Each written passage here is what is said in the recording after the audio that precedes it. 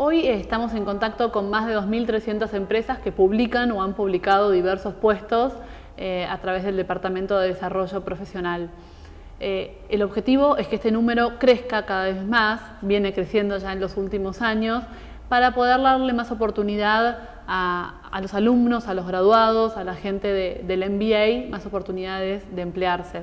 A su vez con estas empresas eh, se desarrollan actividades, vienen a la universidad, presentan sus programas de jóvenes profesionales, de pasantías, y distintos temas que a ellos les interesa abordar para convertirse en una marca empleadora interesante para los alumnos y a su vez para que los alumnos sepan qué es lo que están necesitando esas empresas e ir con más oportunidades a la hora de postularse. A su vez, cuando una empresa se ha posicionado como un líder en, determinada, en determinado segmento,